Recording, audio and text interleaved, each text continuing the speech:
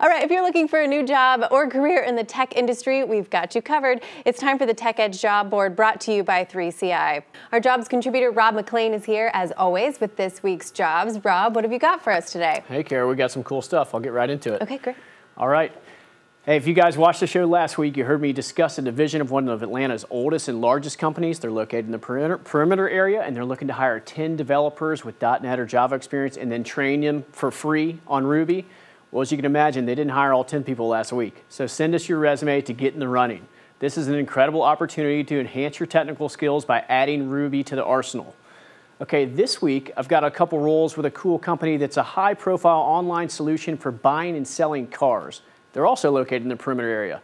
They've got incredible benefits, including a hefty annual bonus, and a flexible work schedule. First, they're looking for some business intelligence studs. They need people who have a strong MicroStrategy development experience, also experience with Hadoop and strong data governance experience. This is a contract to hire opportunity with a six figure salary and the awesome benefits I mentioned. Second, they're looking to hire two experts with Hyperion. You're going to need five years plus experience with strong Hyperion, strong data mapping skills, and a good understanding of financial planning and analysis. This role is also contract to hire and has a six figure salary as well.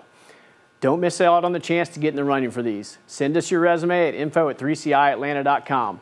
And as always, you can see more on atlantatechedge.com and 3ciatlanta.com. What do you think, Kara? Those jobs sound great. Thanks so much, Rob. Great information. Thank you. All right. All right, coming up next, this year's Taste of Atlanta is going high tech, and founder Dale DeSena is here to tell us how when we return. Stay with us.